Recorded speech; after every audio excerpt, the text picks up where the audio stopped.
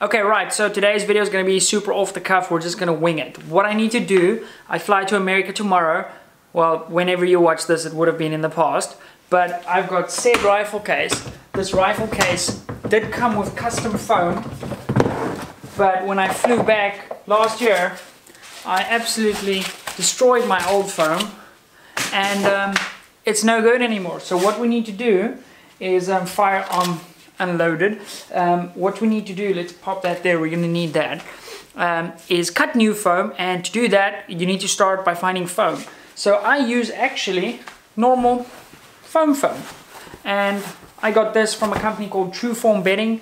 They actually make mattresses. They're the mattress I trust my back with. They're also going to be the uh, foam of choice I trust my rifle in. Then what you'll need is this. Uh, I use a little just normal carpenter's knife and some fresh knives. If you're really in a hurry and you can hold your breath for a while, what does work really well is heating the sucker up. Because then, ooh, I almost put the, caught the mic thingy on fire. That's to work wonders for just slicing effortlessly through, um, through the foam. But the gas that comes up from that I don't think that's going to be very good for health, so avoid those. So I generally go, I, I put a fan on just slightly off the side. I heat up the blade and I draw my line while I hold my breath. Okay, cool. Next thing you're going to want to do, just by the way, my foam, I measured the whole uh, length of the case. I measured how deep my case is. And then what I did was, I obviously also measured how wide my case is. So I'm actually going to take this piece of foam, and I've got two separate pieces of foam that'll either be another piece at the top and another piece at the bottom to make sure I've got one complete sealed unit. Now you may say at this point in time, sorry my mom's phoning me. Right guys, sorry about that. I had to take the mom phone call. So we were saying, black rifle, white foam. That's gonna look super crap. You're damn right it is. So what we're gonna do, we're gonna change that. Now, what you can't see is this foam is actually pretty flexible too. It's got a lot of give. So we're gonna need to stiffen up that foam and what works great for that is this stuff. Plasti-Dip. This is the stuff you put on your wheels if you live where people have black wheels. Um, that's gonna stiffen up the foam and it's gonna change the color. Dries really quickly. So what we need to do now is figure out the orientation. Very important tip, I see guys doing this wrong all the time. When you're carrying your rifle by the handle, you're gonna want it to have the scope up. I'll tell you why. Because when you drop it down, you've had a long travel day, and you just drop it that last little bit, if you put your rifle down like this, the handle's here, which will come this way, that means your scope is at the bottom, and you've got the whole weight of the rifle going down onto your scope, and that just adds another element where you could possibly get a little knock on your scope, which is not something we want. Having said that, I've seen videos of the guys at the airports just chucking those rifle cases from the plane onto the little trolley thingy and my mate's rifle actually hit the side, went off and fell onto the tar. It was horrific to watch. Anyway, let me get my orientation done. What I'm gonna do, I'm gonna put everything I wanna put in the case and leave space for other stuff if I wanna modify it later. So that's gonna be for me, magazines, maybe some tools, rifle obviously, and a whole bunch of other stuff because uh, I can get quite a few weighty items in this. I'm also still deciding if I'm gonna go stock out extended and take up a significant amount of space in the rifle case or if I'm gonna do this. I think I'm gonna go for it this way which does make the rifle a little bit thicker and also why I've made my centerpiece a little bit thicker. And if I do that, I'm possibly just going to add another little thin piece of foam to cover up this extra little strip on top to make sure it can't tip within the case. Anyway, I'm going to change the camera angle. We're going to do the whole layout. We're going to take a Koki pen. We're going to trace the whole rifle and then we'll get to cutting. It's going to take a while so I am gonna just do the layout, form bits and pieces of it and show you guys once we start cutting. So what I'm doing at the moment is just making space um, to go around the wheels. Okay, right, our bottom layer is in. Um, I've just cut around the wheels there so we can get this bottom thin section uh, settled in. What I'm going to do next is layer another thin section over that and then we'll get to work on the main body of the case.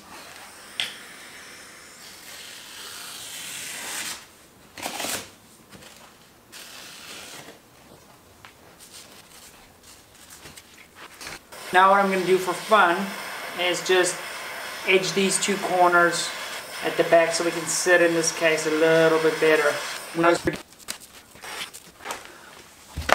Okay, we may need to step up our flame because the little flame's not doing much. Let's stop messing around and get serious. I'm not sure if you could hear that, but as I sat down on the case and I pulled it open, it went like that. Because this case does seal, it is waterproof, which is super cool. So you can go river rafting. Okay, that fits like a glove. I always have them cut it slightly, slightly, slightly too wide so that it just sits in there nice and snug. Get it all the way up against the back. Run it in. Right.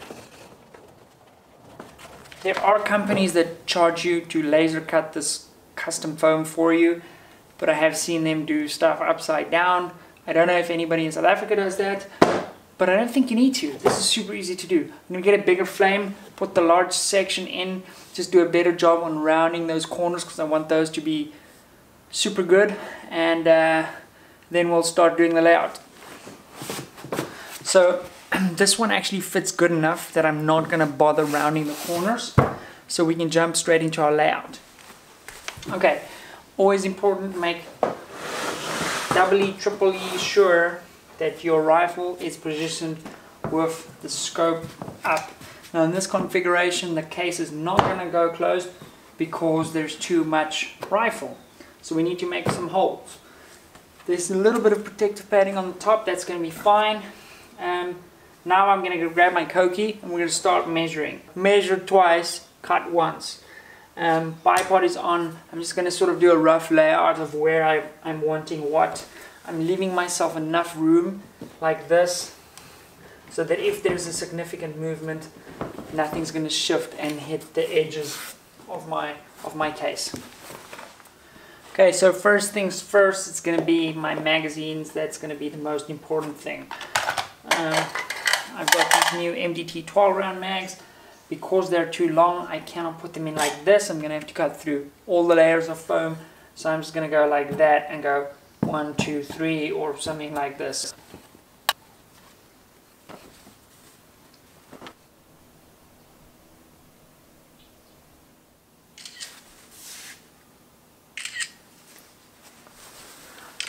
Okay, right, so um, I've just taken a few pictures with my cell phone from the top down so I can see exactly where what is before I start mocking things out because I'm going to take the other stuff out the way. You will notice there's a gigantic section on the front of this case where there's nothing and um, I've actually left that like that on purpose so that if I buy stuff there or I want to add stuff in the future I still have real estate to work with. And the foam's super cheap, it was less than 200 bucks for all the foam. So uh, I guess you could waste it and just put the whole rifle in its entire state with no um, folding stock. But yeah, I quite like just planning ahead and leaving space for more stuff. You never know what you come back with.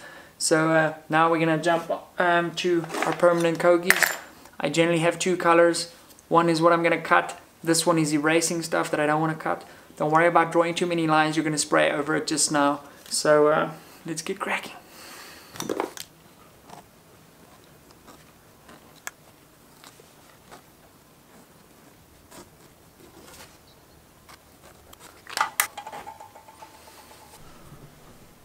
Right, so we finished cutting out the rifle. This is sort of what we're working with. I'm going to try and give you guys the best top down I can. The lines don't need to be perfect, like here for example. And that can be a straight line once you actually make the cuts. This is what we're going to be working with when we remove the rifle. That's sort of the outline we're working with. Um, so I'm going to continue put all the other elements in in these sections here and um, then we'll get to cutting. Right, so I've taken the big piece of foam out the case because I want to work on the countertop there so I can see better straight from the top um, not to make any parallax faults. I've put a new blade in. It is relatively sharp, this blade's brand new, but as you can see it does take some effort to just go through this foam. If you wiggle it a little bit you can get quite a bit done, but the cuts aren't great. Let me see if I can get this camera to focus on those cuts. The cuts aren't great. If you try to do one slow, smooth cut, you do get a better result like that. So I'm going to see how far I can get with the new blade and um, then we may need to step it up to the big boy blower and if we do that we've got this little USB fan uh, would have been more dramatic had it gone on but we do have that just to get rid of some fumes so let's get to cutting so just another quick tip you want to be cutting on the inside of the line. Um, so yeah don't cut on the outside of the line because then your lines are going to be slightly too big. So let's give it a go. I'm going to start with sort of the easy stuff like the magazines and those kind of things before we get onto the main body of the rifle. You'll notice I filled in gaps. The only real gap I've left is for the bipod which you don't have to do. Some people just draw like a big box around the bipod so moment of truth let's cut this foam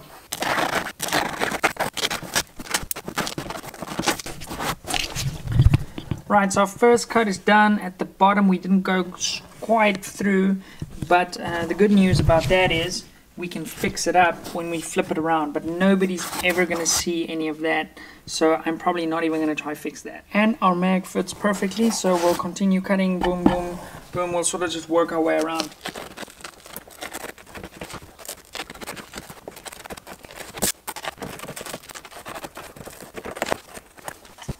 So another quick tip, like sometimes you'll have an item that's slightly too thin, but you want to still cut through the whole piece of foam, then you just use a little piece of the leftover foam and you make a little insert underneath. And I'm going to show you guys like uh, what I mean with that.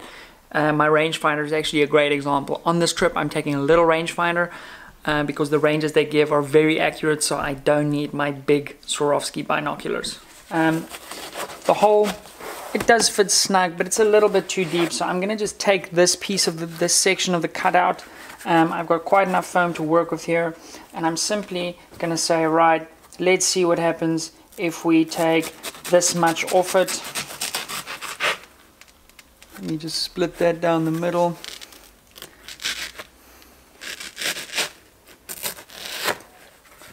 I'm going to pop this little section right back where it came from.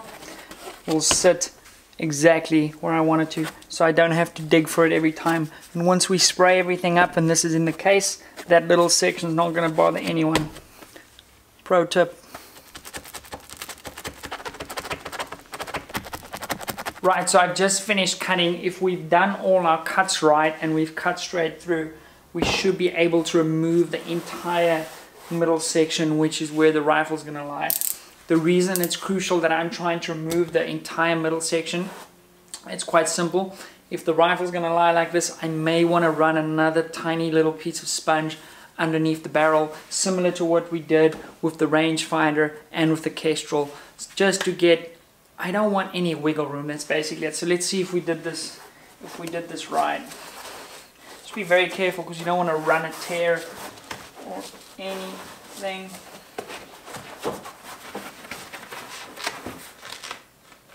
Oh, yeah. Looking good.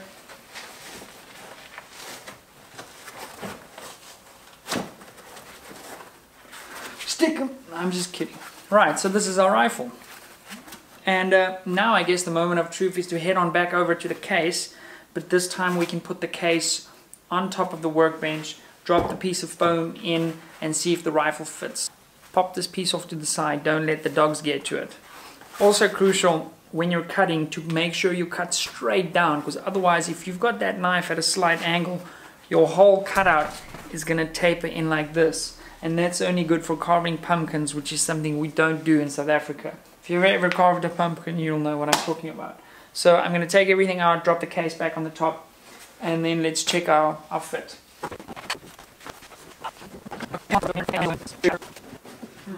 Okay, it's looking like the wheels, the sections, because this case is on wheels, the sections where the wheels are are causing a little bit of lift on this side. So this is where I'm actually going to use the heated knife and just edge out a little bit around that wheel. Turn that torch off, find our little mark and just try and do the same angle. I think I may have cut that a little bit too deep.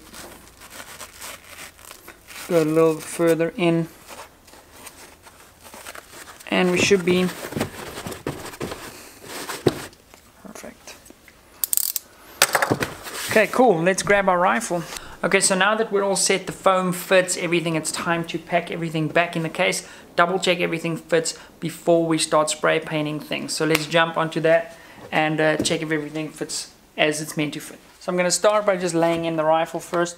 What I'm probably going to end up doing is cutting another hole. Even though the rifle encapsulates the bolt, I'm probably going to make another space for the bolt somewhere. I'm still sort of deciding if I'm going to do that. So moment of truth, rifle, I want this to be as snug as possible. That means no movement. And um, this is mission accomplished for me. That rifle is sitting very securely. No need for anything underneath uh, no wiggles, foam everywhere we need to have foam. Perfect.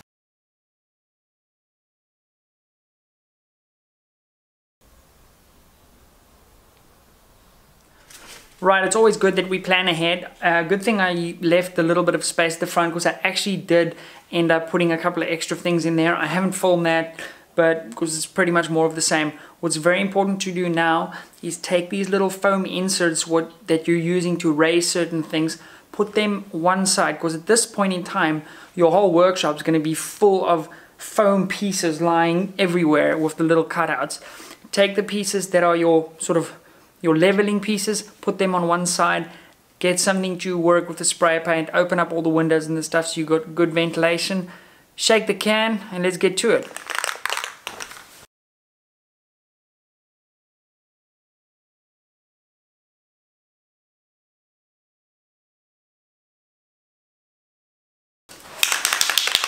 Right, so I'm just about topping up everything, all the little, it doesn't have to be perfect because as soon as you put your item in there, you won't see any color differences and stuff like that. Right, okay, so I'm gonna give this about an 8 out of 10 on the dry scale. As you can see, our bits um, on the inside are relatively in there. I mean, that's not gonna come unstuck. Well, it will come unstuck if I push it really hard.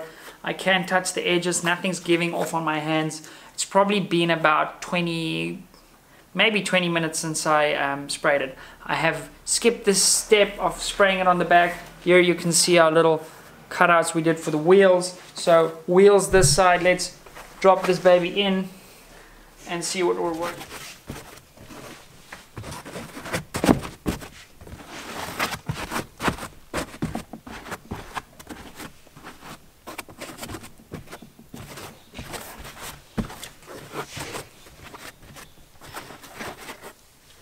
Fit is great. As soon as the rifle comes in, it's going to fill up any gaps.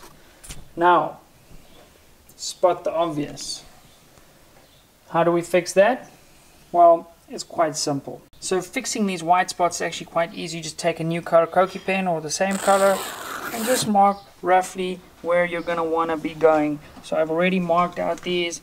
just pull a line there, pull a line there, pull a line there, and just roughly mark these areas so that I know, listen, I need to come back here.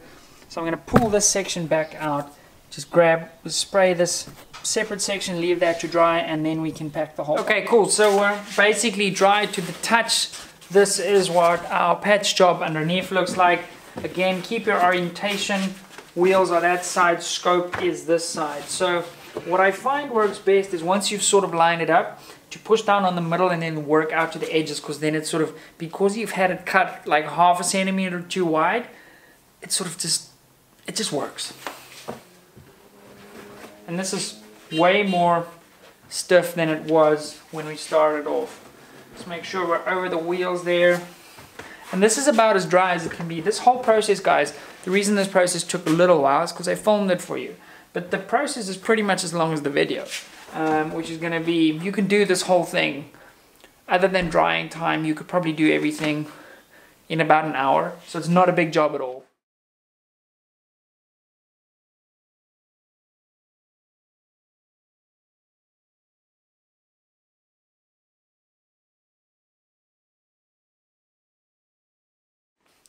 Right, so guys, that pretty much wraps up the whole case. I'm gonna give you guys an overview now. This project really isn't difficult to do. The first time I did it, it's quite daunting. It's only foam, you can't really make a mistake, and if you do make a mistake, just cut next to it. By the time you spray it, you won't even see there was another cut.